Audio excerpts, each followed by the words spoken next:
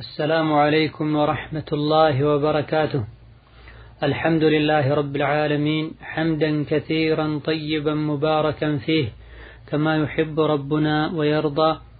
والصلاة والسلام على نبينا وقدوتنا محمد وعلى آله وأصحابه ومن اهتدى بهداه واتبع سنته إلى يوم الدين. اللهم لا علم لنا إلا ما علمتنا إنك أنت العليم الحكيم. اللهم علمنا ما ينفعنا وزدنا علما نافعا وسددنا واعصمنا من الخطأ والزلل ثم أما بعد ይህ ክፍል ሀምሳ ከተማሪዎች ለሚመጡ ጥያቄዎች መልስ የምንሰጥበት ፕሮግራም ነው። ከዛሬ ጥያቄዎች የመጀመሪያው የሱብሒን ሶላት አዳን እሰማለሁ፣ ነገር ግን ሰፈሩ ዱርዬዎች አሉ፣ እነሱን እየፈራው አልሄድም፣ እንዴት ይታያል የሚል ጥያቄ ነው። አላህ ተባረከ ወተዓላ ሶላተል ጀማዓን ወንዶች ላይ ግዴታ አድርጓል። ነቢዩም ዓለይሂ ሰላቱ ወሰላም አዳን እየሰሙ ሶላተል ጀማዓ ማይሳተፉ ሰዎች ላይ ዝተዋል። አልፎ ሁሉ የተወሰኑ ዑለሞች صلاة الجماعة የሶላት ሸርጥ ነው ብለዋል። ያለ ውዱእ አውራን ሳይሰትሩ ሶላት እንደሌለው ሁሉ ወንድ ልጅም ያለ ጀማዓ ሶላት የለውም ማለት ነው። ሸርጥ ነው ከተባለ لكن راجحه ፈርድ ነው ዋጅብ ነው እንጂ ሸርጥ አይደለም የሚለውን ሆኖም صلاة الجماعة ን መተው የኒፋቅ ምልክት ነው። የሶላተል ጀማዓን ግዴታነት አውቆ የሚችለውን ሁሉ ከማድረጉና የሚችላቸው ሶላቶችን ሁሉ በጀማዓ ከመስገዱ ጋር ሶላተል ፈጅርን መንገዱና ወቅቱ አስፈሪ ከመሆኑ አንጻር ሄዶ መስገድ ያልቻለ ሰው ስጋቱ ተጨባጭ እስከሆነ ድረስ ኢንሻአላህ ተዓላ ዑድር ይሆነዋል። ነሆ ለነፍሱ አሊያ ደግሞ ሰግዶ እስኪመለስ ድረስ ለቤተሰቦቹ የሚሰጋ የሚፈራ ሰው ሶላተል ጀማዓ ቢተው ችግር እንደሌለው ፉቃሃውል ኢስላም ጠቅሰዋል። ከመሆኑም ጋር ይህን ችግር ለመፍታት ጥረት ማድረግ ያስፈልጋል። አካባቢ ለመቀየር መሞከር፣ ሰፈሩ ላይ ችግር የሚፈጥሩ ሰዎች አደብ እንዲይዙና ችግራቸውን ለመቅረፍ የሚያስችሉ ነገሮችን ማድረግ ተገቢና አስፈላጊ ነው። ሌላኛው ጥያቄ አንድ መንገደኛ ርቀቱ ምን ያክል ሲሆን ነው ሱብሒና ዙህርን አሳጥሮ የሚሰግደው የሚል ጥያቄ ነው። ጥያቄው ላይ ሱብሒና ዙህርን የሚለው ሱብሒ የሚለው ስህተት ካልሆነ በስተቀር ሱብሒ ምንጊዜም አያጥርም። አንድ ላይ ተደርጎም አይሰገድም ከሌላ ሶላት ጋር። መንገደኛ የሆነ ሰው ሁሉንም ሶላቶች ወቅታቸውን ጠብቆ መስገድ ከከበደው ዙህርን ከዓስር መግሪብን ከዒሻ የፊተኛውን ወደ ኋላው አስጠግቶ ወይም የኋለኛውን ወደፊት አምጥቶ አንድ ላይ ጀምዕ አድርጎ አጣምሮ መስገድ ይችላል። ይህ ሱና ነው። አስፈላጊ ሆኖ ሲገኝ ይደረጋል። ካልተቸገሩ ሁሉንም ሶላት በወቅቱ መስገዱ በላጭ ነው። ይህ እንዳለ ሆኖ ባለ አራት ረክዓ ሶላቶችን ወደ ሁለት ማውረድ መቀነስም ይቻላል። ከመቻልም አልፎ በርካታ ዑለሞች ዋጅብና ግዴታ ነው መንገደኛ የሆነ ሰው አሳጥሮ ባለ አራት ረካዎችን ሁለት ሁለት ረካ አድርጎ እንጂ መስገድም የለበትም ብለዋል። ለመንገደኛ ማሳጠር የሚቻለው ሶስት ሶላቶችን ብቻ ነው። ዙሁር፣ አስርና ዒሻ ማለት ነው። መግሪብና ሱብሒ በየትኛው መልኩ አያጥሩም። መግሪብ ባለበት ሶስት ነው የሚሰገደው ለመንገደኛም ይሁን ሀገሩ ለሚኖር ሰው። ሱብሒም እንደዚሁ ሁለት ረካ ነው የሚሰገደው። ይሄ በሁሉም የዲን ሊቃውንት ስምምነት ነው። እንደዚሁ ደግሞ አንዱን ከሌላኛው አጣምሮ አጠጋግቶ መስገድ የሚቻለው ዙህርን ከዐስር ጋር መግሪብን ከዒሻ ጋር ብቻ ነው። ፈጅር ከየትኛውም ሶላት ጋር ተጠጋግቶ አይሰገድም። አንዳንዴ ፈጅርን ከዙህር ጋር አዘግይተው የሚሰግዱ ሰዎች አሉ። አስቀድመው የሚሰግዱም አሉ። ጠዋት ወጥቼ ቀኑን ሙሉ ወይም አብዛኛውን ልጓዝ ነው ብለው ዙህርን ከፈጅር ጋር የሚሰግዱ አሉ። አንዳንዶች ደግሞ ጠዋት ሲወጡ ፈጅርን መስገድ ትተው ከዙህር ሰግዳለሁ የሚሉ አሉ። ፈጅር ሶላት ከየትኛውም ጋር ተጣምሮ አይሰገድም። ከዒሻም ጋር ይሁን ከዙህር ጋር ምን ያክል መንገድ ከተካሄደ ነው ማሳጠርም ይሁን ማጠጋጋት የሚቻል ሶላቶችን አጠጋግቶ መስገድ የሚቻለው የሚለው አብዛኞቹ የዲን ሊቃውንት ዘንድ ሰማንያ ኪሎ ሜትር ከተኬደ ነው ሶላት ማሳጠር የሚቻለው ለጾመኛም ማፍጠር የሚቻለው ከዛ ካነሰ አይቻልም ነው የሚሉት። ይህ የአብዛኞቹ የጅምሁሮቹ አስተያየት ሲሆን የተወሰኑ ዑለሞች በተለምዶ ጉዞ የሚባል ከሆነ ከመጓዝ በፊት ዝግጅት የሚያስፈልገው ከሆነ ርቀቱ ከሰማንያ ኪሎ ሜትር ቢያንስም ሶላት ማሳጠርና አጣምሮ መስገድ ይቻላል ያሉበት ሁኔታ አለ። ማሳጠርና አንድ ላይ አድርጎ መስገዱ የግድ ሆኖ እስካልተገኘ ድረስ የመንገዱ ርቀት 80 ኪሎ ሜትርና ከዛ በላይ እስካልሆነ ድረስ አለማሳጠሩ የተሻለ ይሆነ። ሌላኛው ጥያቄ ሐጅና ዑምራ መስራት ፈልጌ ነበረ። ዑምራ ካደረግኩ በኋላ እንደ አዲስ ኢሕራም ማድረግ ይጠበቅብኛል ወይስ መቀጠል ይቻላል የሚል ጥያቄ ነው። የሐጅ አደራረግ ሶስት አይነት ነው። ኢፍራድ የሚባል አለ፣ ሐጅን ለብቻው ማድረግ ማለት ነው። ሌላው ቂራን የሚባል አለ፣ ሐጅና ዑምራን አንድ ላይ ነይቶ አጣምሮ መስራት ማለት ነው።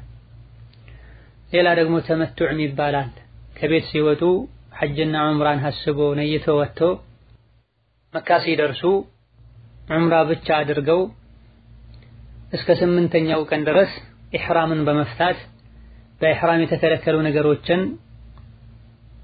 እየተጠቀሙ ቆይቶ የሐጅ ቀን ሲደርስ ድጋሚ ካረፉበት ቦታ ለበይከ አላሁመ ሐጀን ብሎ የሐጅን ሥራ መጀመር ማለት ነው። ዑምራ ካረኩ በኋላ እንደ አዲስ ኢሕራም ማድረግ ይጠበቅብኛል ወይ ወይስ መቀጠል ይቻላል ለሚለው ሐጅና ዑምራን አንድ ላይ ለማድረግ ነይቶ ሄዶ መሀል ላይ ኢሕራሙን ሳይፈታ የቆየ ሰው በዛው ሐጅ መቀጠል ይችላል። መሀል ላይ ዑምራውን አጠናቆ ከኢሕራሙ የተፈታ ሰው ግን ለሐጅ እንደ አዲስ ኢሕራሙን ለብሶ ካረፈበት ቦታ لبيك اللهم حجا ብሎ መቀጠል ይጠበቅበታል። ሌላኛው ጥያቄ አንዲት እህቴ በህመም ምክንያት paralyze ናት። በማንኛውም ሰዓት ጠሃራ ልትሆን አትችልም። ውዱእ የሚያስደርጋትና የሚያጸዳላት ስለማታገኝ ሶላት አትሰግድም። ጾም ግን ትጾማለች። ቁርአንም በሞባይል ትቀራለች። ሶላት ባለመስገዷ እንዴት ይታያል? ሶላት ሳትሰግድ የጾመችውስ ተቀባይነት ያገኛልን? የሚል ጥያቄ ነው። በመጀመሪያ ደረጃ አላህ ተባረከ ወተዓላ ዓፊያዋን እንዲመልስላት በደረሰባትም ሙሲባ አጅር እንዲጽፍላት እንጠይቀዋለን። እነሁ ሰሚዑን ቀሪብ ማንኛውም ሰው አቅሉ ከራሱ ጋር እስካለ ድረስ ሶላት መስገዱ ይወጅብበታል። ሶላት ቤተኛውም ሁኔታ አይተውም። ጦር ሜዳ ላይ እንኳ ቢሆን ጠላት ከኋላ እያሳደደ እንኳ ቢሆን ሶላት አይተውም። አርካንና ሸርጡን አሟልቶ ቆሞ ተስተካክሎ መስገድ የቻለ ሰው መልካም። ይሄን አሟልቶ ማድረግ ያልቻለ ሰው የሶላትን ወቅት ጠብቆ የቻለውን ያክል የፈጸመ በሶላት ከጌታው መገናኘት ይጠበቅበታል። ዲን አልእስላም ለሶላት የሰጠው ቦታ እጅግ በጣም ከባድ ነው። ነቢዩ ዓለይሂ ሰላቱ ወሰላም ራሳቸው ናቸው ወደ ሰማይ ወጥተው ከአላህ ቀጥታ የሶላትን ኃላፊነት ተቀብለው የመጡት። እየሰገዱ እንኳ ወቅቱን ማይጠብቁ ሰዎችን አላህ ወየውላቸው ብሏል። ጀሀነም ውስጥ ሌላ ወደ ውስጥ ጥልቀት ያለው የእሳት ጉድጓድና ገደል እንደሚጠብቃቸው አላህ ተባረከ ወተዓላ ተናግሯል። እየሰገዱ የሚያዘገዩ ሰዎች እንዴት ከተባሉ ጭራሽ ማይሰግዱ ሰዎች ምን እንደሚጠብቃቸው መገመት አይከብድም። ሶላትን ቸላ ያለ ሰው የቅያም ቀን ከፍርዓውን ከቃሩን ከሃማንና ከኡመያ ጋር እንደሚቀሰቀስ ነቢ ዓለይሂ ሰላቱ ወሰላም ተናግረዋል።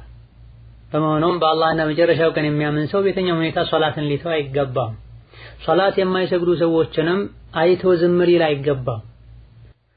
ራስ ምታት ሲያማቸው ጎንበስ ማለት ሲያቅታቸው ሶላት የሚተው ሰዎች አሉ። እዚህ ጥያቄ ላይ የተነሳ አይነት ጠሃራ መጠበቅ ያለመቻል ያለመቻል ችግር ሲገጥማቸው ሶላት የሚያቆሙ ሰዎች አሉ። ይሄን የሚያደርጉት እነሱ ባለማወቅ ሊሆን ይችላል። ብዙ የተሻለ እውቀት ያላቸው ሰዎችም ገብተው ሁኔታቸውን ያወቁ ዝም ብለው የሚያልፉበት ሁኔታ አለ።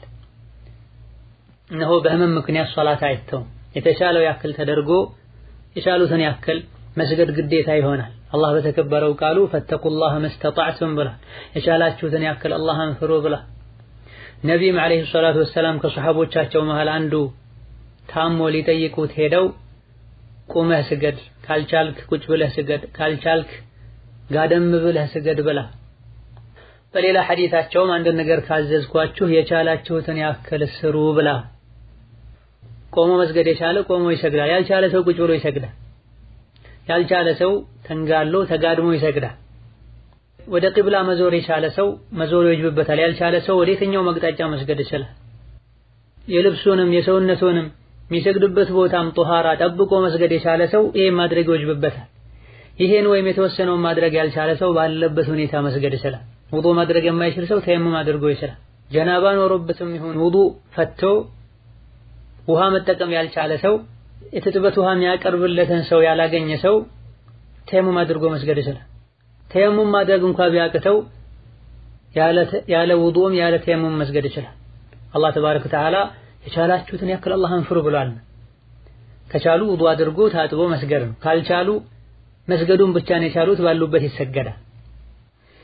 ስለዚህ አላህ አፊያዋን እስኪመልስላት ድረስ ባለችበት ሁኔታ መስገድ ትችላለች። የሽንት መንጠባጠብ ችግር ያለበት ሰው የሚችለውን ያክል ጥንቃቄ አድርጎ ሶላት ወቅት ሲገባ ሽንት የነካውን ቦታ አጥቦ እስትንጃ አድርጎ ውዱእ አድርጎ ይሰግዳል። የሰገደ ሽንት እንደሚንጠባጠብ እርግጠኛ ከመሆኑ ጋር ማለት ነው። የበሽታ ደም ዝም ብሎ የሚፈሳት ሴትም እንደዚሁ ሊፈስ ሊንጠባጠብ እንደሚችል እያወቀች የሐይድ ወቅት ካልሆነ ሶላቷን ትሰግዳለች። ወሀከዛ ነጃሳ የሚወጣው ሰው የሚችለውን ያክል ጥንቃቄ አድርጎ መስገድ ይጠበቅበታል። ነጃሳው ነገር ካልቆመ ተብሎ ለሁሌ ሶላት አይተውም። ያለፈው ተውበት ከማድረግ ጋር በመቀጠል ሶላቷን በርትታ በምትችለው ያክል መስገድ ይጠበቅባታል። ጾሙን በተመለከተ ኢንሻአላህ ተዓላ ጾሟ ትክክል ነው። ሶላት የተወችው ባለማወቅ ከመሆኑ አንጻር ማለት ነው። ሌላኛው ጥያቄ አንዲት ሴት ሐራም ላለመስራት በማለት የተለያዩ ነገሮች ተጠቅማ ራሷን ብታረካ ሐራም ይሆንባታልን? የሚል ጥያቄ ነው። አላህ ተባረከ ወተዓላ በተከበረው ቃሉ የጀነት ሰዎችን መገለጫ ሲነግረን የሙእሚኖችን መገለጫ ሲነግረን ወለዚነ ሁም ሊፉሩጅህም ሓፊዙን ብላ የቅያም ቀን ከሚፈሩት ነገር ሁሉ ድነው የተመኙትን አግኝተው በሰላም የሚኖሩ የአላህ ባሮች መገለጫ ብልታቸውን ይጠብቃሉ ከትዳር አጋራቸው ካልሆነ በስተቀር ብላ። በዚህም አላበቃም። ፈመን ብተጋ ወራአ ዛሊከ ፈኡላኢከ ሁሙል ዓዱን ብላ። አላህ ከፈቀደው ውጪ ባለ መንገድ ራሱን ለማርካት የሞከረ ፈኡላኢከ ሁሙል ዓዱን እነሱ ድንበር ኃላፊዎች ናቸው ብላ አላህ ተባረከ ወተዓላ። ኢማሙ ሻፊዒ ይሄን የቁርአን አንቀጽ መሰረት በማድረግ ብልትን የነካኩ የዘር ፈሳሽ ማውጣት ሐራም መሆኑን ጠቅሰዋል። ምክንያቱም አላህ ተባረከ ወተዓላ ፈኡላኢከ ሁሙል ዓዱን ብላ ቁርአኑ ላይ ከተጠቀሱት ውጪ ከምስትና ከሴት ባሪያ ባሪያ በነበረበት ወቅት ከሴት ልጅ ደግሞ ከባሏ ውጪ ከነዚህ ውጪ ባለ መንገድ ራሱን ለማርካት የፈለገ ድንበር ኃላፊ ነው ብላ አላህ ተባረከ ወተዓላ። አላህ ደግሞ ድንበር ኃላፊዎችን አይወድም። ሆኖም ወንድም ይሁን ሴት ከኒካህ ውጪ ራሱን ለማርካት መሞከር አይፈቀድለትም። ያደረግ እንደሆነም ዲኑንም ዱንያውንም ይጎዳል። ማንኛውም ነገር ሸሪዓ ሲከለከል በአዱንያም በአኼራ የሚጎዳ ስለሆነ ወንድም ይሁን ሴት ራሱን በግሉ ለማርካት መሞከሩ ወንጀል ከመሆኑ አንጻር አኼራ የሚያስቀጣው ቅጣት ከመኖሩ ጋር አዱንያ ላይም የተቃራኒ ጾታ ግንኙነት ላይ የሚፈጥረው ከፍተኛ ችግር እንዳለ በዚህ ዙሪያ ጥናት ያደረጉ ዕለሞች ገልጸዋል። ሆኖም ማንኛውም ስሜትን የሚቀሰቅስና በሐራም ስሜትን ለማርካት ለመሞከር ሰበብ የሚሆንን ነገር ሁሉ ማድረግ ይከለከላል።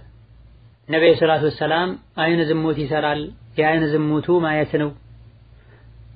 ምላስ ዝሙት ይሰራል፣ የምላስ ዝሙቱ መናገር ነው። ጆሮ ዝሙት ይሰራል፣ የጆሮ ዝሙቱ ማድመጥ ነው። እጅ ዝሙት ይሰራል፣ የእጅ ዝሙቱ ማይፈቀድለትን ሰው መንካት ነው።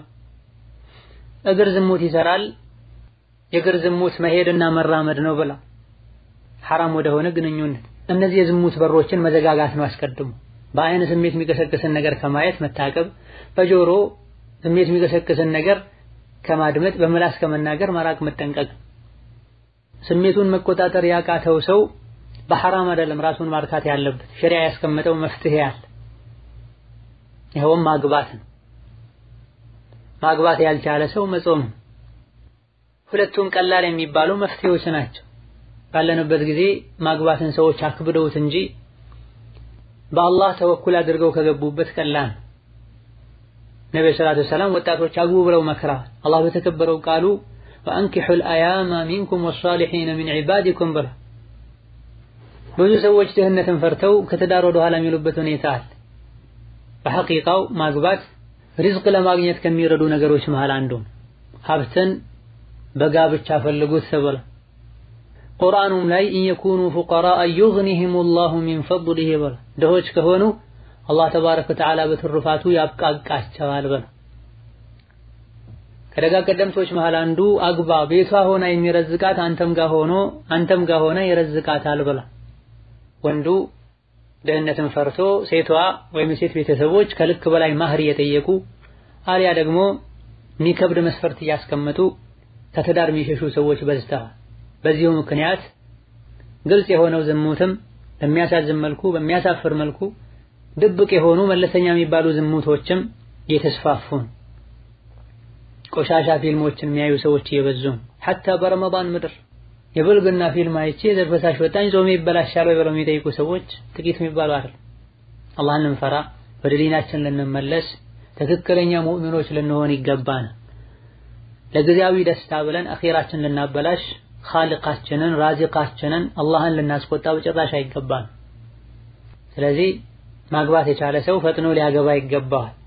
ዚናን የሚፈራ ሰው ላይ ማግባት ዋጅብና ግዴታም ጭምር ነው። ይሄን ግዴታ ለመወጣት የሚያስችሉ ነገሮችንም ማድረግ ተገቢ ነው።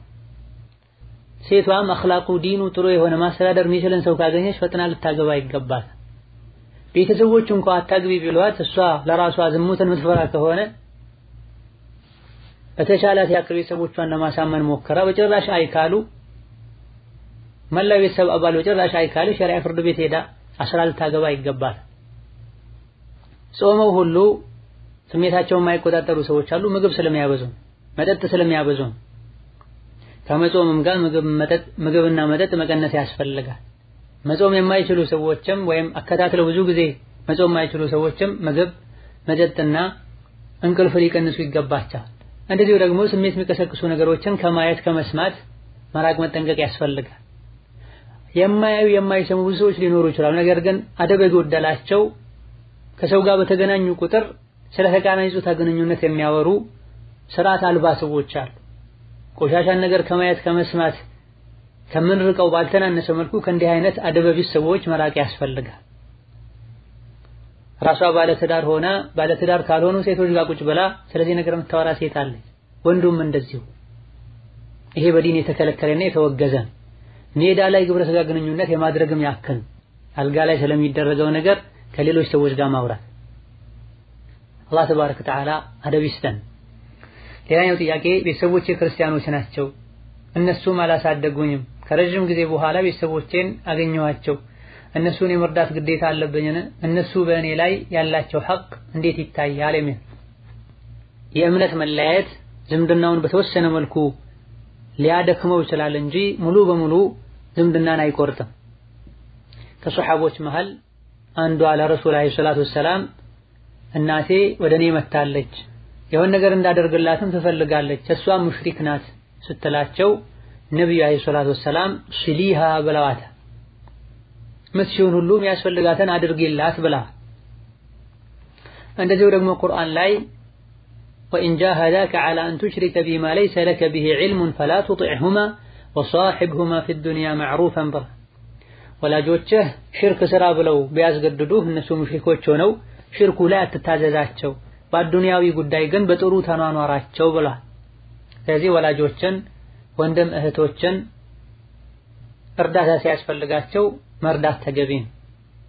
ሲያማቸው መጠየቅ ተገቢ ነው። ሸሪዓው የሚፈቅድ በሸሪዓው ያልተከለከለ ደስታ ሲኖር እነሱ ጋር እንኳን ደስ አላችሁ ማለት ተገቢና አስፈላጊ ነው። ከወንድም ከእህቶች መሃል አንዱ ትዳር ቢይዝ አሊያ ጥሩ ስራ ቢያገኝ አሊያ ተምሮ ቢመረቅ ደስታቸውን መካፈል እንኳን ደስ አላችሁ ማለት ተገቢ ነው። ወላጆች በተለይ ከተቸገሩ፣ ከተራቡ፣ ከታመሙ ለችግራቸው መወጫ የሚሆንን ነገር መርዳት ልጆቻቸው ላይ ግዴታ ይሆንባቸዋል። አላሳደጉኝም የሚለው ዝምድናን ለመቁረጥ በቂ ምክንያት አይሆንም። እስልምና በጎ ለዋለልህ ጥሩ ለታመለስ የበደለህን አትበድል ነው የሚለው።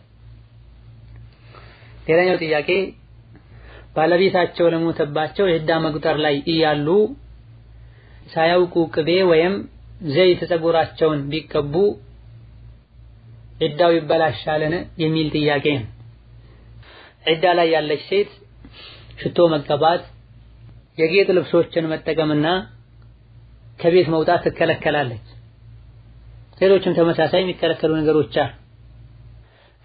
ቅቤና ዘይት መቀባቱን በተመለከተ እነዚህን መጠቀሙ በራሱ ጌጥ ካልሆነና ሽቶነት ከሌላቸው መጠቀሙ ችግር የለው። ሌላኛው ጥያቄ አባቴ በክርስትና እምነት ላይ እያለ ነው የሞተው። ለብዙ ዓመታት አቅሉን አያውቅም። የአእምሮ በሽተኛ ነው። በዚህ በሽታ ሳይድን ሞተ።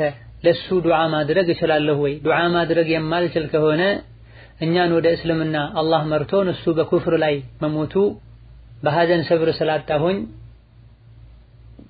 ሰብር እንዲሰጠኝ ዱዓ አድርጉልኝ የሚል ነው። ነስአላህ አን የርዙቀኪ አሰብራ ወሱልዋን ወየክቱበ ለኪ ልአጅራ ዐላ ማ አሳበክ። ኩፍር ላይ ሽርክ ላይ ለሞተ ሰው ዱዓ አይደረግም። አላህ በተከበረው ቃሉ ማ ካነ ሊነቢይ ወለዚነ አመኑ አን የስተግፊሩ ሊልሙሽሪኪነ ወለው ካኑ ኡሊ ቁርባ ብላ ለነቢይና ለአማኞች ለሙሽሪኮች እስትግፋር ሊያደርጉ አይገባቸውም ቅርብ ዘመዶቻቸው እንኳ ቢሆኑ ብላ አባት ምንም እንኳ የአእምሮ በሽተኛ ሆኖ ቢሞትም የአእምሮ በሽተኛ ከመሆኑ በፊት ኩፍር ላይ ከነበረ ያለው ለሱ ምህረት መጠየቁ ተገቢ አይደለም። አላህ ተባረከ ወተዓላ ሽርክን እንደማይምር ነግሯል። ሌላኛው ጥያቄ የምኖረው ዱባይ ነው። ሰራተኛ የሚፈልጉ አረቦችን አፈላልጌ ቪዛ ሰጥተውኝ እህቶችን ከኢትዮጵያ አስመጥቼ ብር ብቀበል ሐራም ይሆንብኛልን የሚል ጥያቄ ነው። የሚሰራው ስራ ሙሉ በሙሉ ሐላል ከሆነና እህቶችም የሚመጡት ሸሪዓ በሚፈቅደው መንገድ ከሆነ ምንም ችግር የለም። ቪዛውን ካወጡ ሰራተኛ ከሚፈልጉ ሰዎችም ጥቅም እያገኙ ለሰራተኝነት ከሚመጡ ሰዎችም አሰሪዎች ሳያውቁ ጥቅም የሚያገኙ ከሆነ ይሄ ማታለልና ማጭበርበር ያለ አግባብ ገንዘብ ማግኘት ስለሚሆን ይከለከላል። ሰራተኞች መጥተው የሚሰሩት ስራ ሐራም ወይም ሐራም የተቀላቀለበት ከሆነ አሊያ ደግሞ ሰራተኞች ሲሳፈሩ የሸሪያን ሕግ ባልጠበቀ መልኩ ለምሳሌ ሴቶች ያለ መሕረም የሚሳፈሩ ከሆነ ይሄኔ በዚህ መልኩ ተሰርቶ የሚገኝ ገንዘብ ሐላል አይሆንም፣ መተው ግዴታ ይሆናል። አላህ ተባረከ ወተዓላ አማኞችን ሐላል እንዲመገቡ ሐራምን እንዲተዉ አዟል። ሌላኛው ጥያቄ የዛሬ ዓመት ረመዳን ሁለት ጊዜ ዜና ሰርተናል። ሁለቱንም ቀን አልጾምንም፣ ቀባም አላወጣንም። ምን ማድረግ ነው ያለብን የሚል ጥያቄ አቁል አላሁመ ላ ትህሊክና ቢማ ፈዐለ ሱፈሃኡ ሚና። አላህ ተባረከ ወተዓላ አላዋቂዎች በሚያጠፉት ጥፋት በጋራ አያጥፋን። እንዲህ አይነት ጥያቄዎችን ማንበብና ማንሳት እጅግ በጣም ያሳዝናል። የካዱል ቀልቡ የተፈጠር መልሱን መተው አላህ ዘንድ ያስጠይቃል ባይባልና ጠያቂዎች ተውብተው ነው ጸጽተው ነው ያበላሹትን ማስተካከል ፈልገው ነው ባይባል ማንሳት ሁሉ በጣም ይከብዳል። በተለይ እንደዚህ ሚዲያ ላይ አላህ ተባረከ ወተዓላ የረሕማንን የእሱን ባሮችን መገለጫ ሲዘረዝር ወላ የዝኑን ብላ ወዒባዱ ረሕማን አለዚነ የምሹነ ዐለል አርዲ ሀውና ወኢዛ ኻጠበሁሙል ጃሂሉነ ቃሉ ሰላማ። ከዛ አስከትሎ ከተወሰኑ ወስፎች በኋላ ወላ የዝኑን ብላ የአላህ ትክክለኛ ባሮች ምድር ላይ ረጋ ብለው የሚራመዱ ናቸው። አላዋቂዎች ሲያናግሯቸውም ከአላዋቂዎች መልስ መሰጣተትን ትተው ሰላም ብለው የሚያልፉ ናቸው። ከጀሃነም ጠብቀኝ የሚሉ ናቸው። የተለያዩ ወስፎችን ጠቅሶ ዝሙትም የማይሰሩ ናቸው ብላ ዝሙትን አላህ አትስሩ ሳይሆን አትቅርቡ ነው ያለው። አንድ ሰው ሙእሚን ሆኖ ዝሙት እንደማይሰራ ሐዲስ ላይም ተነግሯል። ዝሙት ከባድ ወንጀል አላህን ከምንም በላይ ከሚያስቆጡ ነገሮች መሃል አንዱ ባሪያዎቹ ዝሙት መስራታቸውን የትኛውም ማህበረሰብ ላይ ዝሙት ሲስፋፋ አላህ የተለያዩ በላዎችን ያመጣል ህዝቡ ላይ። ከራሳችን አልፎ ያለንበት ማህበረሰብ ሁሉ ይጎዳል በዝሙት ወንጀል። ድርቅ ይመጣል ሰላም ይጠፋል ኢላ ገይሪ ዛሊክ።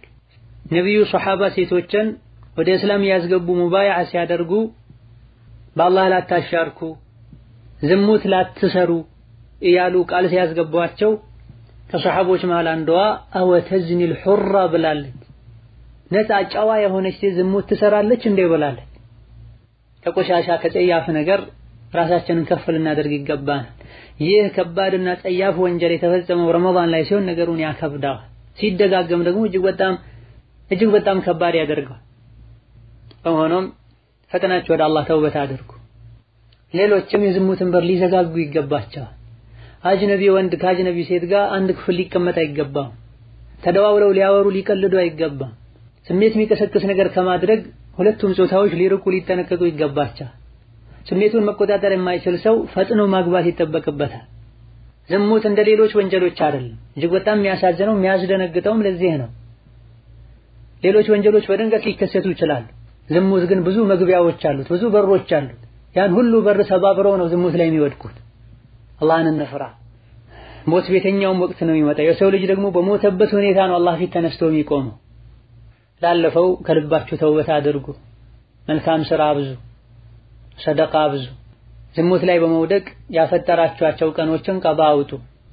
ከዚህ በተጨማሪ ከፋራ ይጠበቅባቸዋል ሁለታችሁም ለእያንዳንዱ ቀን ስልሳ ስልሳ ቀን መጾም ይጠበቅባቸዋል እያከታተላችሁ ይሄን ማድረግ በበቂ ምክንያት ካልቻላችሁ በሽተኛ ከሆናችሁ ዶክተር አትችሉም ካላችሁ ለእያንዳንዱ ቀን ስልሳ ስልሳ ምስኪን ማብላት ትችላላችሁ። ነስአላህ የቱበ ዐለይና ወዐለይኩማ ሌላኛው ጥያቄ አጅነቢ የሆነች ሴት መንገድ ላይ ብትታመም የሚረዳት ከሌለ ደግፌ ወደ ቤተሰቦቿ በወስዳት እንዴት ይታያል የሚል ጥያቄ ነው። በአቅራቢያ ያሉ ሴት እህቶች እንዲረዷት ማድረግ ይጠበቅብሃል።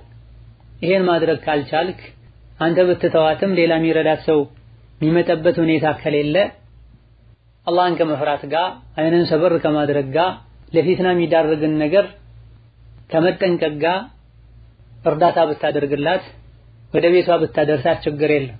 በመሰረቱ ወንድ ሴትን መንካት ሴት ወንድን መንካት የተከለከለ ቢሆንም የግድ ሆኖ ሲገኝ ይቻላል። ሴት ሴት ዶክተር ካጣች አልታከምም ብላ ቤት መሞት እንደማይፈቀድላት ሁሉ ሜዳ ላይ ወድቃ ወንድሟ በሚያገኛት ጊዜም ቤት ሊያደርሳት ይችላል። በላጩ ግን ያሉ አማራጮችን ሁሉ ቀድሞ መጠቀም፣ ቤተሰቦቿ ጋዛው ያለች መደወል፣ ከአካባቢ ያሉ እህቶቿ እርዳታ እንዲያደርጉላት መጠየቅ፣ የሁሉ ተሞክሮ ካልተቻለ ነዓም ለበሩራ ይቻላል። ሌላኛው ጥያቄ ላገባ ፈልጌ ነበረ፣ ቤተሰቦቼ ታላቅህ ሳያገባ አንተ አታገባም ብለው ከለከሉኝ፣ በሸሪያ እንዴት ይታያል የሚል ጥያቄ ነው። ነቢ ዓለይሂ ሰላቱ ወሰላም ወጣቶች ሆይ ከእናንተ ውስጥ የትዳር ህይወትን መምራት የቻለ አግቡ ማግባት ብልትና አይንን ከሐራም ለመጠበቅ ይረዳል ብለዋል። አላህም በተከበረው ቃሉ ከእናንተ ውስጥ ትዳር የሌላቸውን አጋቡ ብሏል። ቁርአንም ይሁን ሐዲስ ላይ ታላቅ ሳያገባ ታናሽ አያግባ የሚል መመሪያ የለም። ለትዳር ከደረሰና ባለበት ወቅትና ሁኔታ ላይ ፈጥኖ ማግባቱ አስፈላጊ ሆኖ ከተገኘ ማግባት ይችላል። ነገር ግን እንደ አካባቢው እንደ ባህሉ ታላቅ ሳያገባ ታናሽ የማያገባ ከሆነ ይሄን መቃረንና መተውም እንደ ነውር የሚታይ ከሆነ አሊያ ደግሞ ቀድሞ ያገባውን አደብ የለውም ሐያ የለውም ብለው የሚወቅሱበት ሁኔታ ካለ በተወሰነ መልኩ ማዘግየቱ ምንም ችግር ከሌለው ቢያዘገይ ችግር የለውም እንላለን። ሐራም ነው ሳይባል ማለት ነው። እማ ታላቅ ሳያገባ ታናሽ ማግባት ሐራም ነው አይቻልም ከሆነ ይሄ በጭራሽ ማይደገፍም ነገር ግን እንደ ባህልና እንደ አደብ ታላቅ መቀደም አለበት ከተባለ ታናሽ ትንሽ ቆይቶ እሱ ማስቀደም ምንም ችግር ከሌለው ቢያደርግ ላባስ ላክን እሱ ማግባት እየፈለገ ለነፍሱ ሐራምን እየፈራ ታላቅህ ካላገባ አታገባም አይባልም። አላዋቂነት ታላቁ ሳያገባ አገባ ተብሎ ከሚወራና ልጃችሁ ዝሙት ሰራ ከሚባል ጌቱ ነው የሚያስደነግጠውና የሚያሳፈር ወላጆችም ይሁን ታላቅ ወንድም ታናሽ ልጃቸው እንዳያገባ እንቅፋት ሊሆኑ አይገባቸውም በእንዲህ አይነት ምክንያት ማስተዳደር ከቻለ አቅሉ አእምሮ በስሎ ቤቱን መምራት ከቻለ አግባ ሊሉት ሊደግፉት ይገባቸዋል። አይ ካሉ እሱም ለዲኑ ከፈራ ወንድ ልጅ የማንም ፈቃድ አያስፈልገውምና ያገባ ችግር የለም። በተቻለው ያክል የቤተሰብ መቆራረጥ እንዳይፈጠር ማማከር፣ የተወሰነ መታገስ፣ ለማሳመን መሞከር ይጠበቅበታል። አይ ካሉ ፈኢዛ ዐዘምተ ፈተወከል ዐለላህ ነው ቁርአኑ የሚለው። መሆን አለበት ብለህ አስፈላጊ ነው ብለህ ከወሰንክ በአላህ ተመክተህ አድርገው። ሌላኛው ጥያቄ ለሆነ ሰው ስምንት ሺህ ሪያል አበድሬ ነበረ ሳበድረው በሪያል እንዲመልስልኝ ነው የተስማማ ነው። የተበደረው ሰው ብሩን ሳይሰጠኝ ወደ ሀገር ገባ። ብሩን አሁን ባለው በሀገራችን ምንዛሬ መቀበል እችላለሁ የሚል ጥያቄ ነው። ማንኛውም ሰው አንድን ገንዘብ ከተበደረ መመለስ ያለበት በወሰደው ገንዘብ የወሰደውን ገንዘብ ራሱን አይነት ሪያል የተበደረ ሰው ሪያል ነው መመለስ ያለበት። ዶላር የተበደረ ሰውም ዶላር ነው መመለስ ያለበት። ብር የተበደረ ሰውም እንደዚሁ ብር ነው መመለስ ያለበት። በዚህ ተስማምተው ተበድረው አበድረው ሳለ ኋላ ላይ የተበደሩትን አይነት ገንዘብ ራሱን መመለስ ካልቻሉ በጊዜው በሚመልሱበት ወቅት ባለው ምንዛሬ የሌላ ሀገር ገንዘብ ቢቀበሉ ችግር የለም፣ ሁለቱ ከተስማሙ ማለት ነው። ወላሁ ተዓላ አለም። ሌላኛው ጥያቄ አንዲት ሴት ውጭም ይሁን ቢሮ ውስጥ ከወንዶች ጋር ተቀላቅላ ኒቃብ ለብሳ ስራ መስራት ትችላለች ወይ? ብዙ ጊዜም የሱቃችን በር ላይ ውጭ ላይ ይቀመጣለሁ። ውጭ ላይ መቀመጤ ሐያና አደብ ያሳጣልን የሚል ጥያቄ ነው። በመሰረቱ ሴት ልጅ ቤት ነው መቀመጥ ያለባት። የእሷ ትልቁ ስራ ልጆቿን ማሳደግ፣ ቤቷን መጠበቅ። የቤት ውስጥ ያለው የሴት ልጅ ስራ ወንዶች ውጪ ከሚሰሩት ስራ እጅጉኑ የሚበልጥና ትልቅ ኃላፊነት የሚባል አላህም በተከበረው ቃሉ ሴቶችን ወቀርነ ፊ ቡዩቲኩነ ነው ያላቸው፣ እቤታችሁ ውስጥ እርጉ ነው ያለው። ሆኖም መውጣት አስፈላጊ ከሆነ ሴት ልጅ ልትወጣ ትችላለች። የወጣችም እንደሆነ መንገድ ላይ የሚሆን ለሐጃ የምትሄድበት ቦታ ላይ ከወንዶች ከመቀላቀል መጠንቀቅ ይኖርባታል። ነቢያችን ሰለላሁ ዐለይሂ ሴቶች መስጂድ ሄዳለሁ ካሉ አትከልክሏቸው፣ እቤታቸው ለነሱ የተሻለ ነው በላ። በዚህ መሰረት ሴቶች ባሎቻቸውን አስፈቅደው መስጂድ በሚሄዱበት ጊዜም ሴቶች ሶላት እንዳለቀ ቀድመው እንዲወጡ፣ ወንዶች እዛው እንዲረጉ ያዙ ነበር። እንደዚሁ ደግሞ ሴቶቹ እናንተ የመንገዱን መሀል ይዛችሁ መሄድ አይፈቀድላችሁም ይሏቸው ነበር። ይሄን የነቢዩን ምክር ከሰሙ ጊዜ ጀምሮ የመንገዱን ጥግ ይዘው ከመሄዳቸው የመጣ አንዳንዴ ልብሳቸው ከግርግዳ ጋር ከአጥር ጋር የሚጣበቅበት ሁኔታም ነበር። መንገድ ላይ እንኳ ከወንድ እንዲሸሹ ዳር ጥግ ይዘው እንዲሄዱ ሸሪዓ ካዘዘ ቢሮ ላይ ችግር የለውም ከወንድ ተቀላቅላ ትቀመጥ አያል። ሴቷ ኒቃብ ካረገች ምን ችግር አለው ሊባል ይችላል። እሷ ኒቃብ ብታደርግ ወንዱ ኒቃብ አያደርግም። እሷ አደብ ሁሉ ወንድ አደብ አይይዝም። ስትናገር የሷን ድምፅ ወንዶች መስማታቸው አሊያ እነሱ ሲናገሩ እሷ መስማቷ ሲንቀሳቀሱ ስትንቀሳቀስ ማየታቸው ማየቷ አይቀር። ይሄ ሁሉ ፊትና ሊያመጣ ይችላል። የነቢ ዓለይሂ ሰላቱ ሰላም ልጃቸው ፋጢማ ረዲየላሁ ዐንሃ ሴቶች ወንዶችን አለማየታቸው፣ ወንዶች ሴቶችን አለማየታቸው ለሁለቱም የተሻለና መልካሙ ይሄ ነው ብላለች።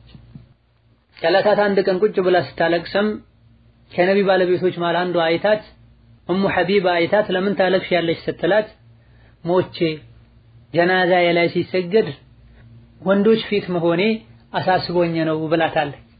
እንግዲያውስ ይህ ከሆነ የሚያስለቅስሽ አትጨነቂ፣ ምንሽም እንዳይታይ ለጀናዛሽ ሳጥን እንዲሰራ አደርጋለሁ ብላታለች። ሞታ እንኳ ጀናዛዋ ያውም ተገንዞ ከጨርቅ ስር ሆኖ የሰውነቷ ቅርጽ መታየቱ አሳስቧታል። ሴት ልጅ ከወንድ ጋር አንድ ክፍል ሆና የተመላለሰች የተለያየ ወንድ ያናገራት መልስ የሰጠች አብራት ስራ ችግር የለውም ማለቱ እጅግ በጣም ይከብዳል።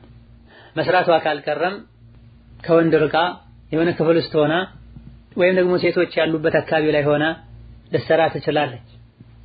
መንገድ ላይ መቀመጡን በተመለከተ በመሰረቱ መንገድ ላይ መቀመጥ ነቢዩ ከልክላ ኢያኩም ወልጁሉሰ ፊ ጡሩቃት ብላ አደራችሁን መንገድ ላይ መቀመጥን ተጠንቀቁ ብላ እኛ በተለያየ ምክንያት ልንቀመጥ እንችላለን እንገደዳለን ሲሏቸው እንግዲያውስ የመንገድን ሐቅ ጠብቁ ብለዋቸዋል። ምንድን ነው ሲሏቸው አይንን ሰበር ማድረግ፣ የተሳሳተን ሰው መንገድ መጠቆም፣ ሰላምታን መመለስ ኢላ ገይሪ ብላ ከዛን አሱሉ የተከለከለ ነው። ለስብሰባና ለተለያዩ መሰል ለሆኑ ጉዳዮች መቀመጥ ካስፈለጋቸው ወንዶች ሊቀመጡ ይችላሉ። አይናቸውን ሰበር ማድረግ አለባቸው። ሰው ላይ ማሾፍ፣ መሳለቅ፣ በሚያልፉ ሰዎች ዙሪያ አስተያየት መስጠት ኢላ ገይሪ ሊከሰት ይችላል። መንገድ ላይ ከተቀመጡ የምትቀመጠው ሴት ስትሆን ደግሞ ነገሩ የከፋ የሆነ ሸረኛ ሰዎች ሸር አስባ ሊመስላቸው ይችላል። የሙስሊም ሴት አደብና ክብርም ጭምር አይደለም። ሐጃና በሩራ ካለ የፀሐይ ሙቀት ፈልገው መሰል የሆኑ የግድ አስፈላጊ የሚባሉ ነገሮች ካሉም መንገድ ወዳልሆነ አቅጣጫ ሆኖ መቀመጥም። ሌላኛው ጥያቄ ሴት ልጅ ኢኽትላጥ ከሌለ ጂም መስራት ትችላለችን? እንዲሁም ፉሉሃ እና ማሳጅ መጠቀም ይቻላል ወይ የሚል ጥያቄ ስፖርት መስራቱን በተመለከተ የምትሰራው ሙሉ በሙሉ ከሴቶች ጋር ከሆነ አብሯት ያሉትም የምታሰራዋም ሴቶች ከሆኑና አካባቢው ላይ ቦታ ላይ በጭራሽ ወንድ ከሌለ ሌላ የሚያስከትለው ችግር እስከሌለ ድረስ ከሸሪያ አንጻር ብታደርግ ችግር አይኖርም።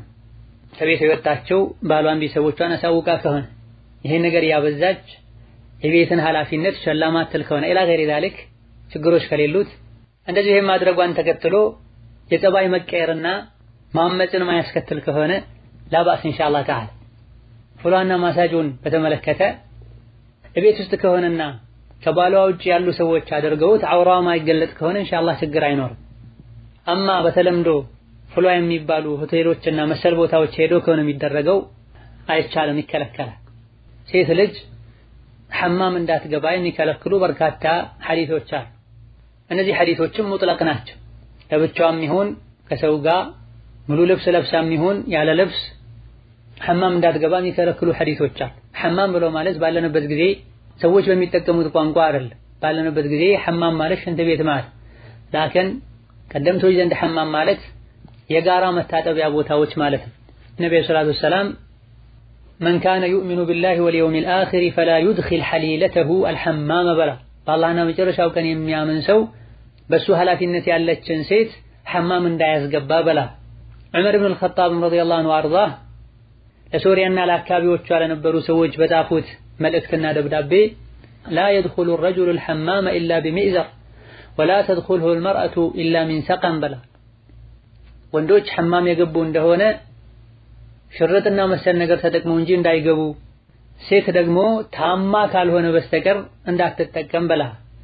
እነዚህ ሐዲትና አተሮች በመሰረቱ ሰዎች አንድ ላይ ተቀላቅለው የሚታጠቡባቸው መታጠቢያ ስፍራዎችን ቢሆንም በዘመናችን እንደ ፉልሃ ያሉ መታጠቢያዎችን የሚያካት ነው። ተቀራራቢ ከመሆናቸው አንጻርና እዚህ አሐዲት ላይ ሐማም አታስገቡ የተባለበት ምክንያት እንደዚህ አይነት ቦታዎችም ላይ ከመኖሩ አንጻር ቦታው ላይ ወንድና ሴት በመቀላቀሉ ምክንያት የሚመጡ ፊትናዎች አሉ፣ የሰውነት መገላለጦች አሉ። ታጥበው አውራቸውን በስርዓቱ ሳይሸፍኑ ሰው ያያቸው ወጥተው የሚቀመጡበት ሁኔታ የሚታጠቡበት ክፍል ላይም ሲታጠቡም ከነሱ ጋር ሰው ገብቶ የሚያሽበት ሁኔታ ከዚህና ከሌሎችም አንጻር ምንም እንኳ በዘመኑ ያሉት እንደ ቀድሞ ሐማም አይደሉም ቢባልም የሚያመሳስላቸውና የሚያጠጋጋቸው ብዙ ነገር አለና ሴት መሄድ የለባትም። ይሄን የምንለው የምትታጠበው እንዲሁ ዝም ብላና ለመዝናናት ከሆነ ወላክን ታማ በሌላ መልኩ በጭራሽ መዳን ካልቻለች ፍሏ መታጠቧ ፈውስ ነው ከተባለ ይህን ሄዳ ልትታጠብ ትችላለች። ነገር ግን ከእሷ ጋር አብሮ ቤተሰቦቿ ሊኖሩ ይገባል። የምትታጠበው ብቻዋን ሊሆን ይገባል። ማሳጅ የሚሰሩ የሚያጥቡ የሚያሹ አብሯት ሊኖሩ በጭራሽ አይገባም። ማድረጉ አስፈላጊ ከሆነም ባለትዳር ከሆነች ባሏ ሊያደርግ ካልሆነችም እህቷ እናቷ ልታደርግ ይገባል። አውራዋን ከመሰተሯ ጋር በተረፈ ለመዝናናትና ለቅንጦት በሚል ሴት ልጅ የተለያየ ሰው ያለበት ቦታ ላይ ሄዳ ልትዋኝ ፍሏ ያለች ልትመላለስ በጭራሽ አይገባም። ከሐያ ከአደብ ከመልካም አኽላቅ ጋር አይሄድም። ብዙ ፊትናዎችን ሊያመጣ ይችላል። ሌላኛው ጥያቄ እናቴን በስሟ ነው የምጠራት፣ ኡሚ ስላት አቤት አትልም። በስሟ ግን ስጠራት አቤት ትላለች። በስሟ ስለምጠራት ወንጀለኛ እሆናለሁ ወይ የሚል ጥያቄ ነው። ወላጆችን በስማቸው መጥራት አደብና ተገቢ አይደል። በተለይ ደግሞ ወላጆች ልጆቻቸው በስማቸው ሲጠሯቸው ሚጠሉና ቀልባቸው የሚሰበር ከሆነ ትልቅ ወንጀልም ጭምር ይሆናል። እነሱን ከመበደልም ሊቆጠር ይችላል። አንዳንድ ስርዓት የሌላቸው አደብ የሚባል ነገር የማያውቁ ሰዎች አሉ። ወላጆቻቸውን ድምፃቸውን ጮክ አድርገው የሚጠሯቸው በስማቸው የሚጠሯቸው አሊያ ደግሞ እናታቸውን ያናገሩ የት አለ አባታቸውን ባለቤት የት አለች ብለው የሚጠይቁ ይሄ የስርዓት ማነስም በሁሉም ነገር ዲናችን አደብ አስተምሯል። ወላጆቻችንን እንድናከብር አዞናል። ራሳቸውን ቀጥታ ስንጠራቸውም ይሁን ሌላን ሰው እነሱ የት እንደሆኑ ስንጠይቅ ለእነሱ ያለንን ክብር በሚገልጽ መልኩ ልንጠራቸው ልንሰይማቸው ይገባል። አላህ በተከበረው ቃሉ ወቁል ለሁማ ቀውለን ከሪማ የተከበረ አክብሮት የተሞላበትን ንግግር አናግራቸው የሚለውን አንቀጽ ሲፈስሩ አንዳንድ ሙፈስሮች ለስለስ ያለ ንግግርን አናግራቸው ስጠራቸው አባቴ ሆይ እናቴ ሆይ እያልከ ጥራቸው ብለው ፈስራ ስማቸውን ልጠራ የገሌ አባት ሁሉ ልትል አይገባም በላ የገሌ አባት ማለት ያለበት የውጭ ሰው ነው። አማ ልጆች ወላጆቻቸውን ባሉበት አካባቢ ባሉበት ወቅት በዘመናቸው በአካባቢያቸው የአክብሮት መገለጫ የሚባለውን ስም ሊሰጧቸው ይገባል። አቡ ሁረይራ ረዲየላሁ ዐንሁ አርዳ ሁለት ሰዎች አብረው ሲሄዱ ተመለከቱ። ይሄ ማን ነው ብለው ጠየቁት። ለአንደኛ አባቴ ነው ብሎ መለሰላቸው። ይህን የአቡ ሁረይራ ረዲየላሁ ዐንሁ አርዳ እንግዲያውስ አባትህ ከሆነ በስሙ አትጥራው፣ ቀድመኸው ከፊቱ አትሂድ፣ ስትቀመጡም እሱ ሳይቀመጥ አንተ ቀድመህ አትቀመጥ ብለውታል። ነወዊም ረሕመቱላሂ ዐለይህ አዝካር የተሰኘው ኪታባቸው ላይ ልጆች ወላጆቻቸውን፣ ተማሪዎች አስተማሪዎቻቸውን በቀጥታ ስማቸው መጥራት የተከለከለ እንደሆነ የሚያሳዩ መረጃዎችን የምናብራራበት ባብ ብለው ባብ አስቀምጠዋል። ከዛ በኋላ ደሊል ሊሆኑ የሚችሉ ነገሮችን ጠቅሰዋል። ከዚህም አንዱ ወላጆችን ከመበደል አንዱ አባትን በስሙ መጥራት ነው፣ መንገድ ላይ ከፊቱ እየቀደሙት መሄድ ነው የሚል አተር አስፈራ። ይህ የተከለከለበት ምክንያት የማክበር ተቃራኒ ስለሆነ ወላጆችን ማክበር፣ መታዘዝ፣ ለነሱ ክንፍን ዝቅ ማድረግ፣ ለነሱ ዝቅ ማለት ዋጅብና ግዴታ ነው። በስማቸው ቀጥታ መጥራቱ ደግሞ የዚህ ተቃራኒ ነው። አንዳንድ ሰዎች ቀጥታ ፊት ለፊት ሲሆን አክብሮት በተሞላበት መልኩ የሚጣሩ የሚናገሩ፣ ነገር ግን እነሱ በሌሉበት ሲሆን አደብ የጎደለው ንግግር የሚናገሩና አደብ ባነሰው መልኩ ስማቸው የሚያነሷ ፊት ለፊት ሲሆኑ ወላጆቻቸውንም ይሁን አስተማሪያቸውን በማዕረግ በአክብሮት ስማቸው ሲጠሩ በሌሉበት ሲሆን በስማቸው የሚጠሩበት ሁኔታ ይህ አደብ የምንጠብቀው ሊላህ ብለን እንዳልሆነ የሚያሳይ አደብ መጠበቃችን የዲን አካል ዲናችን ደግሞ ከሁኔታዎች ከሰዎች ጋር የተያዘ ሊሆን አይገባም። ጥያቄው ላይ እንደተጠቀሰው እናት በስሟ እንጂ መጠራት ማትፈልግ ከሆነ አባትም እንደዚሁ ልጆቹ በስሙ እንዲጠሩት የሚፈልግ ከሆነ ይህኔ ችግር የለውም ይባላል። ከመሆኑም ጋር ግን ለልጆች እንደ አደብ ወላጆቻቸውን በስማቸው መጥራቱ ተገቢ አይደል። ያሉበት አካባቢ ላይ ኡሚ የሚለው ስያሜ ማይታወቅ ከመሆኑ አንጻር እናጠልታው ከሆነ በአካባቢ የሚባለውን ማለት ነው። ሙሉ በሙሉ በስሟ መጠራት እንፈልጋ ከሆነ እሷ ከፈለገች ምንም ችግር የለም። ሌላኛው ጥያቄ ፀጉር ቤት ለመስራት ፈልጌ የነበረ ፀጉራቸውን የሚሰሩ ሰዎች በእስልምና የማይቻል ቁርጥ ቁረጠኝ ቢሉኝ ለምሳሌ ፍሪዝ፣ ባልቶኒ የመሳሰሉት አይነት ቁርጦች ብቆርጣቸው ይህ ነገር በሸሪያ እንዴት ይታያል የሚል ጥያቄ ነቢ ዓለይሂ ሰላቱ ወሰላም ሶሒህ በሆነ ሐዲታቸው ፀጉሩ የተወሰነ ተነስቶ የተወሰነው የቀረን ሰው ወይም ሕፃን ባዩ ጊዜ ሁሉንም ላጨው ወይም ሁሉንም ተወው ብላ በዚሁ መሰረት ማንኛውም ፀጉሩን የሚያነሳ ሰው ማንኛውም ፀጉሩን የሚያስነሳ ሰው በምላጭ ሲላጭ የሚሆን በመቀስና በማሽን ሲቀነስ ሙሉ በሙሉ ሁሉንም እኩል አድርጎ ማንሳት ይጠበቅበታል። የተወሰነውን ላጭቶ የተወሰነውን መተው፣ የተወሰነውን ዝቅ አድርጎ ቆርጦ የተወሰነውን ከፍ አድርጎ መቁረጥ ራሱ የተከለከለ ከሆነ ይህን ድርጊት የሚፈጽመው ሰው ስራም የተከለከለና የተወገዘ ይሆናል።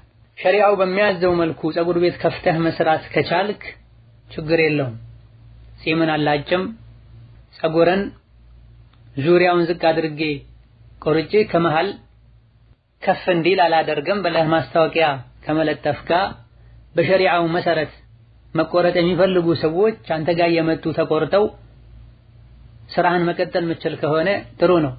ከነየትከበት አጅርም ጭምር ታገኛለህ። አማ ሁሉም አይነት ሰው መጥቶ እንደ ፍላጎቱ ሸሪዓን በሚጻረር መልኩ እየተቆረጠ የሚሄድ ከሆነ በወንጀል መተባበር ነው የሚሆን።